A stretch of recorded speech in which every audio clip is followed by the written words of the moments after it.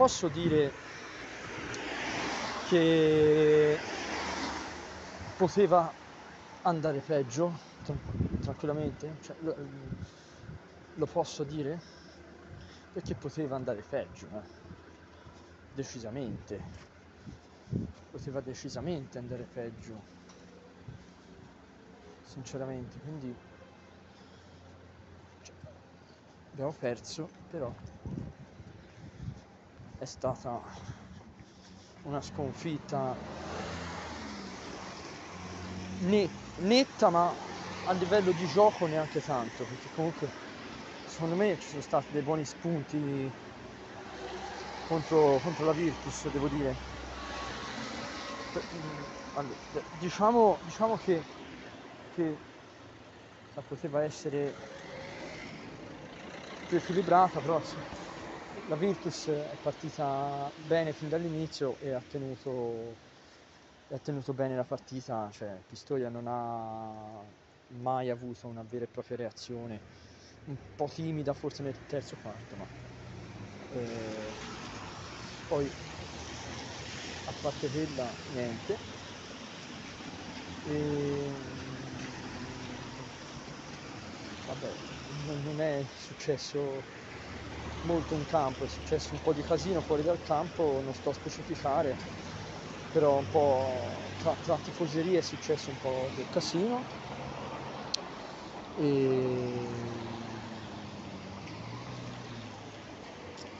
poi cos'altro è successo? Vabbè.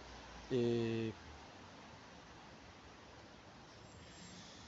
fu- fuori di, fuori dal campo sicuramente abbiamo vinto noi perché mm, cioè abbiamo ci siamo fatti sentire di più rispetto ai tifosi della Virtus. Quindi sugli spalti abbiamo vinto noi i tifosi della Virtus assenti. E allora parlando dei singoli direi che Ehm, Michael Forrest è stato il migliore in campo, sicuramente. E poi anche Criston un esordio un po' così così, ma ce lo potevamo aspettare, che è arrivato lunedì, quindi insomma non è tanto che è arrivato, quindi ci poteva anche stare, ha fatto abbastanza secondo me poi esordire contro la Virtus è sempre difficile anche per un giocatore come Criston e, e poi gli altri tutti da compitino. E poi l'unico sottotono probabilmente è stato Brajkovic quindi Brajkovic è stato l'unico sottotono Peccato perché dopo la vittoria contro Napoli c'era un po' più di entusiasmo invece niente, cioè siamo andati lì con zero aspettative alla fine. E io ero là a Bologna, quindi insomma ho seguito la partita dal, dal vivo e alla fine non c'è stata molta partita, però non abbiamo preso un'imbarcata troppo grande, quindi questo comunque è importante. Detto questo, mm, la prossima è contro Cremona, a Cremona.